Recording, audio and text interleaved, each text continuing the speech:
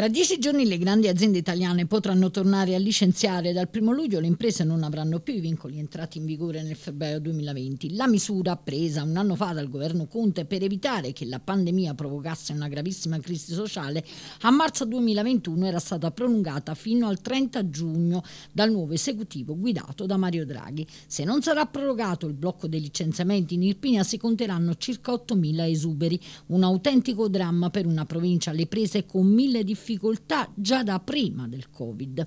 Quello di fine mese è un via libera allo sblocco di licenziamenti parziale in base alla normativa oggi vigente dal 1 luglio per industria ed edilizia torna la cassa integrazione ordinaria ma scontata, non si pagano le addizionali fino a dicembre.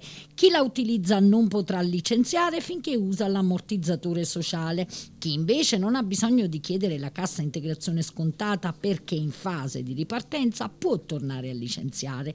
Invece per i servizi e terziario il blocco dura fino al 31 ottobre, accompagnato sempre dalla cassa emergenziale.